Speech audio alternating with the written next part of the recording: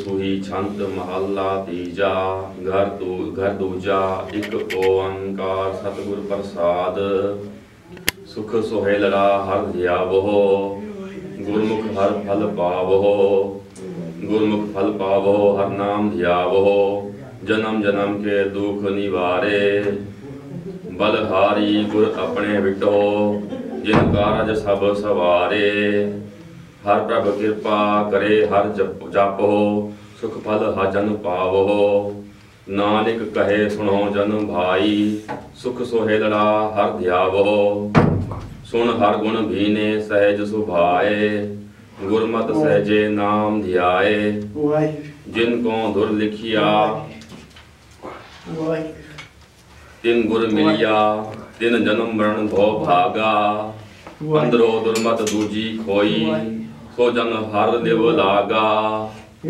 ਜਿਨ ਕੋ ਕਿਰਪਾ ਕੀਨੀ ਮੇਰੇ ਸੁਆਮੀ ਤਿਨ ਅੰਦਿਨ ਹਰ ਗੁਣ ਗਾਏ। ਸੁਣ ਮਨ ਭੀਨੇ ਸਹਿਜ ਸੁਭਾਏ। ਜੁਗ ਮਹਿ ਰਾਮ ਨਾਮ ਨਿਸਤਾਰਾ। ਗੁਰ ਤੇ ਉਪਜੈ ਸ਼ਬਦ ਵਿਚਾਰਾ। ਗੁਰ ਸ਼ਬਦ ਵਿਚਾਰਾ RAM ਨਾਮ ਪਿਆਰਾ। ਜਿਸ ਜਿਸ ਕਿਰਪਾ ਕਰੇ ਸੋ ਪਾਏ। ਸਹਿਜੇ ਗੁਣ ਗਾਵੇ ਦਿਨ ਰਾਤੀ। ਕਿਲ ਵਿਖ ਸਭ ਗਾਵ ਗਵਾਏ। ਸਭ ਕੋ ਤੇਰਾ ਤੂੰ ਸਬਨਾ ਕਾ ਹਉ ਤੇਰਾ ਤੂੰ ਹਮਾਰਾ। ਜੁਗ ਮਹਿ ਰਾਮ ਨਾਮ ਨਿਸਤਾਰਾ ਸਾਜਨ ਆਏ ਉਠੇ ਘਰ ਮਾਹੀ। ਹਰ ਗੁਣ ਗਾਵੇ ਤਿਰਪਤ ਅਗਾਹੀ। ਹਰ ਗੁਣ ਗਾਏ ਸਦਾ ਤਿਰ ਫਿਰ ਭੂਖ ਨਾ ਲਾਗੇ ਆਏ।